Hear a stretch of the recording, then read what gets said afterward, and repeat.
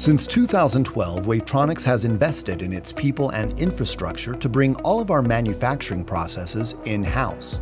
Not just because we ensure quality at every step of our process, and not just because we can control our inventory output even in the face of global uncertainty, but because it allows us to provide quality jobs to the most talented skilled workers we can find. Now in 2020, we have doubled down on that investment. Our new home in Springville, Utah features a custom-built, state-of-the-art manufacturing site that will allow us to more than double our manufacturing capacity while keeping our workers safe and secure in their jobs. As a result, we have product that is ready to ship now.